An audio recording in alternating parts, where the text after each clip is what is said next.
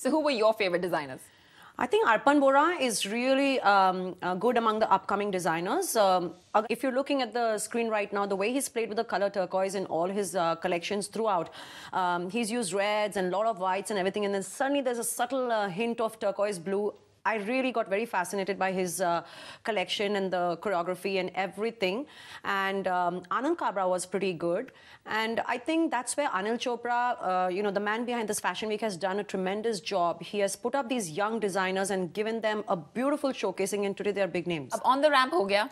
Yes. What about backstage gupshup? Yes, आगे front में stars थे, फिर on the ramp हो गया. And you know what we managed to do this time? Page three actually went backstage because when you look at a show and it's also perfect, right? So here we are looking at the models, the choreographer, the designer, everybody's there. Like say 20 minutes before the show is going to start, and they have their makeup on, and some are so chilled out, some are stressing out.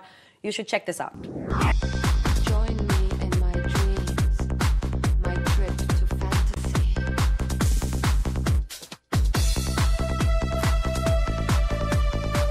Backstage at the Lakme Fashion Week and I'm with Marc Robinson. I don't think you can get a better choreographer than him. I've known him for maybe 15 years. And now let's ask him, um, backstage, what is your best moment? My best moment backstage, front of house, same thing. I love working with beautiful women, so I'm happy when I'm doing a show. The women are beautiful, they're hot, they know their stuff. I'm honest. Especially when they're uh, kind of skimpily dressed, aren't they?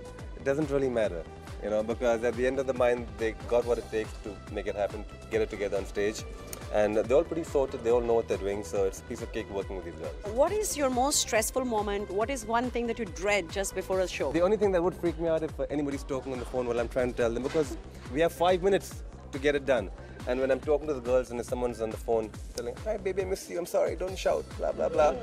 that sort of freaks me out, but it's okay, it's only a moment. So if I had to ask you one thing you like working about Marc, with Marc, one you thing that you love... You can ask them about in front of you. Working with Marc? Right, no, oh, yeah. no, no. And, and, no, they, they, they'll be more fun. This is revenge time. That's Rachel. And one thing you hate about him.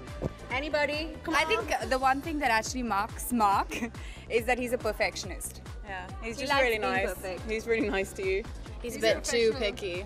Has anybody been yelled at? Of course. No. after the show, though. After the show. Okay, the right wing is lying and the left wing is not.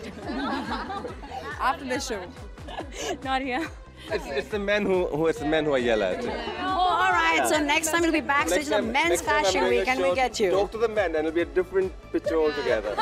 okay. Thank you, girls. All of you are beautiful and sexy, and thank you for talking to Zoom.